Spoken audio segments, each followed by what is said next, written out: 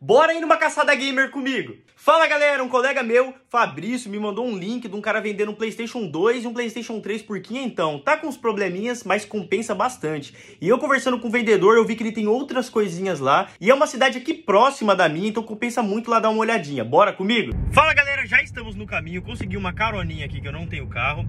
Eu não sei se eu vou conseguir gravar lá a parte da negociação, mostrando os itens lá. Vou tentar gravar, se eu não conseguir, depois eu volto aqui pra mostrar pra vocês. Você quer ver o cartucho junto com, esse negócio, você pode dizer que tava ali os, os 500. Pode ser? Se você quiser. Faz 400 então, tudo só, só com as fitas. Aí eu deixo ele aí. Aí depois você anuncia lá, acho que você pega um... Ah, pode ser. Fechou Pode ser, então? Tamo aí, galera. Vocês viram, consegui gravar pouquíssimas coisas, mas tá aqui, ó, demais eu consegui pegar o quê? O Street Fighter 2 e o Donkey Kong 3. Tinha um controle lá, um controle não, um volante da Logitech de Playstation 2 e Playstation 1, muito bacana, só que estava no estado, totalmente no estado, com a fonte queimada. Eu não quis arriscar, tá? Quase que eu levei, mas eu não quis arriscar, eu consegui levar essas fitas por mais 50 pila do que eu já ia levar os consoles aqui. E vou falar pra vocês, Play 2 está impecável. Chegando lá em casa eu mostro pra vocês. Já cheguei aqui em casa, galera, vamos conferir o que veio aqui. Primeiramente aqui, galera, Donkey Kong 3, esse era o único que faltava pra mim, por incrível que pareça, eu tenho as outras duas fitinhas, tá um pouquinho amarelinho, mas já já eu testo também, mas provavelmente tá funcionando, né, joguinho original difícil para de funcionar. E o Street Fighter 2, tá, esse aqui é um modelo diferente do que eu tenho aqui, eu já tenho dois Street Fighter 2, mas esse aqui é um pouco diferente. Depois eu vi que tem uma, umas paradinhas a mais e a gente vai testar também já já. Galera, o Play 3, né, que já tá em pior condição, eu peguei porque realmente né, o cara não fazia separado o Play 2 do Play 3, né? A caixa já não é a dele, vemos que é um Super Slim e ele é um Slim, tá? Ele tá feinho, tá sem HD e tá com superaquecimento. Então, vou falar a verdade, eu acho que esse aqui não vai valer a pena consertar, mas eu vou ver com um colega meu se se vale a pena ou não. Vou pegar um HDzinho, colocar nele, ver se realmente está com problema de superaquecimento e não é apenas o HD. E depois também eu volto com falando mais sobre esse console, se eu conseguir ou não recuperar ele. E a cereja do bolo, né, que foi por isso que eu fui lá, esse PlayStation 2 aqui, SCPH 10 mil, tá galera? Que é o primeiro modelo de, de PlayStation 2 que foi comercializado lá no Japão, primeirinho, tá? Bem antiguinho. E eu, esse eu abri lá na hora, eu vi, tá em ótimas condições, só realmente tá com um problema num cabinho, num flat que faz conexão da placa com os controles. Mas isso aqui eu vou arrumar rapidão, vou mostrar para vocês agora ele cabo de força e AV original dele. E tá aqui, galera, o console ainda com o berço. Tá aqui, galera, o flat que ele falou que deu defeito, né? Pelo jeito ele já retirou do console e tá realmente em uma condição ruinzinha, então muito capaz de ser apenas isso, que ele falou que o único sintoma ruim que tá é que os controles não estão dando sinal, né? E ele já arrancou, então tá aqui, depois eu vou repor isso aqui. Não veio manual, galera, mas veio vários cardzinhos tá? Que também vinha de instruções de uso. Tem umas paradinhas aqui que eu não sei o que é. Tem vários cartãozinhos, tem o cartão resposta, ó, que vinha na época com todos os videogames de antigamente. E veio esse CDzinho aqui também, original, tá? Do PlayStation 2, que ele disse que era para fazer o Play 2 rodar DVD. Tá aqui, ó, original mídia azulzinha. Bora ver como tá esse console aqui, galera. Como eu disse para vocês, eu já abri, já dei uma olhadinha nele lá. E Lá, pelo menos, estava muito bonito, né? Vamos ver se foi emoção ou se ele realmente está bonitão. E tá aí, galera.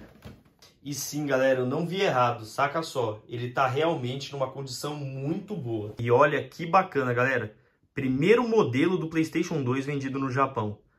Tá realmente muito bonito, galera. E eu não tinha na minha coleção até agora este modelo aqui, né? De todos esses que estão aqui, o que eu tenho mais próximo dele é um DTL, tá? 10 mil também, mas que é um modelo de teste, então não era o modelo que foi vendido. Então esse é o meu primeiro SCPH 10 mil. E olha aí, galera, como que a gente identifica? Aqui, ó, por essa etiquetinha aqui, galera, ó. SCPH 10 mil. Mas para quem conhece, só bater no olho já, já dá pra ver, tá, galera? Ele não tem a entradinha aqui, tá, do HD. Né? Na verdade, isso aqui é uma porta de saída para um HD externo que era utilizado nos modelos mais antigos de PlayStation 2, tá? Não só no 10 mil, mas o 15 mil também utilizava essa portinha aqui. Então, para quem conhece de longe, né? Até pela frente aqui, ó, que não tem aqui vazado onde que vai essa parte do HD, né? Só olhando de frente você já imagina que é os, os dos antigos, tá? Para baixo do 37 mil. E, pô, galera, tá muito bonito mesmo. E eu vou testar ele, tá, galera? Né, mesmo ele sem o flat aqui dos controles, ele vai funcionar normal, só não vai dar comando no controle, mas ele vai abrir gaveta, ler o CD normalzinho e a gente já vai testar ele também assim com as fitas. Galera, os jogos eu vou testar nesse Super Baby aqui, que já fica ligado direto na minha TVzinha. Primeiro vamos testar o Street Fighter 2. Deixa eu ver se tá muito sujo. Uh, não tá tão sujo não os, os slots. A fita tá, mas os slots não. Não vou limpar não. Já vou colocar direto. Errou! Galera, eu esqueci que esse Super tá com as travinhas, mas eu tenho aqui um adaptador. Então, bora usar o adaptador.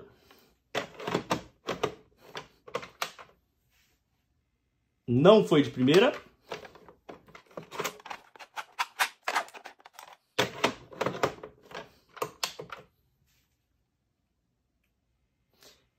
E foi agora de segunda. Tá funcionando. Vamos ver o que ele tem de diferente do, do Street Fighter normal, que agora eu tô curioso que essa versão eu não tinha. Ah, tem mais personagens. Não, tá diferente aqui. Bora testar o outro.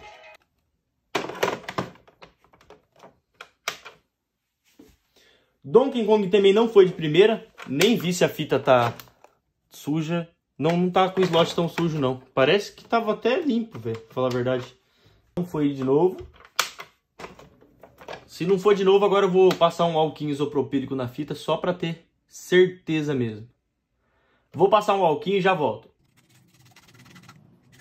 Prontinho, galera. Álcool isopropílico dado uma passadinha aqui só para dar uma limpadinha melhor. Agora eu acho que vai.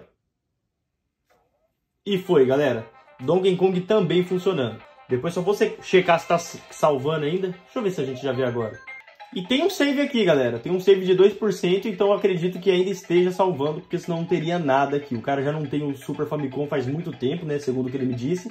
Então, tá salvando. E tá aí, galera. Já instalei o Play 2 aqui. Não liguei ainda. Vocês vão ver minha reação, né? Junto com vocês aqui de testar ele. Liguei meio improvisado na TV do Relâmpago Marquinhos aqui. E bora testar. Não coloquei CD, não coloquei nada. Vamos ver. Hum, funcionando, galera. Ah, deixa eu colocar para filmar em menos FPS para vocês conseguirem entender. Pronto, coloquei em 30 FPS e agora vocês vão conseguir enxergar melhor o que está rolando ali. Agora eu vou colocar né, o CD que veio junto com ele, o DVD, né, no caso, que veio junto com ele, para a gente ver se ele está lendo. Segundo o cara, está lendo normalzinho, realmente só não vai funcionar os controles porque está sem o flashzinho lá. Então vamos já testar a gavetinha, que está abrindo, que isso aqui já é um grande do milagre. E agora vamos ver se está lendo rapidão e leu, galera. Demorou um pouquinho, vou falar pra vocês que eu, que eu dei um corte aqui no vídeo, mas tá lendo sim, só que ele demora um pouquinho. É, essa versão já li um pouco mais devagar mesmo, mas com certeza deve estar tá, sim com o leitor já, já um pouco capenguinha, mas tá aí, ó, tá lendo. E eu acho que agora eu vou colocar um Resident Evilzinho 4 aqui japonês também, só pra ter certezinha. Galera, e nesse momento aí do vídeo, eu peguei o memory card que tava ali do lado, eu falei, ah, vou colocar aqui, vai que pega, né?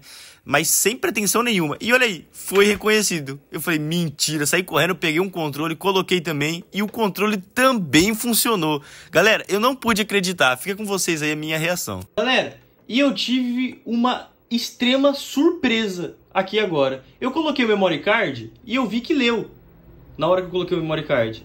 E, por incrível que pareça, o controle também tá pegando. Cara, eu fui trollado, mas que bom! O controle tá pegando. Vamos entrar no jogo para ver se realmente tá tudo funcionando. Mas não é possível, da onde aquele cara tirou aquele flat? E tá aí, galera. O jogo leu muito mais rápido do que o CDzinho que veio com ele. E aparentemente o controle tá tudo certo funcionando. Tô até surpreso agora, porque Pô, ele me vendeu, me deu um flat, né? O flat veio ali, vocês viram que, que ele mostrou que o flat que ele arrancou que tava sem o flat do controle. E, olha aí, funcionando. que doideira, galera. E é isso aí, então tá funcionando e não vou precisar fazer nada. O console tá bonitinho. Então é isso, galera. Esses foram os itens da minha caçada de hoje. Foi 350 reais o Play 3 mais o Play 2 e 50 reais eu paguei nessas duas fitas aqui. Lembrando que ele me disse que estava tudo no estado, tá? Play 3 sem HD, o Play 2 sem o flat do, do controle e as fitas fazia tempo que ele não funcionava. As fitas funcionaram, o Play 3 realmente eu vou precisar de um HD para testar e o Play 2 funcionou, cara, tudo, né? E eu fiquei muito feliz porque era um modelo que eu não tinha, tá? Apesar de ter vários outros Play 2 preto eu não tinha esse do primeiro, né? SCPH 10000. E aí, galera, vocês acham que compensou? Até o próximo vídeo.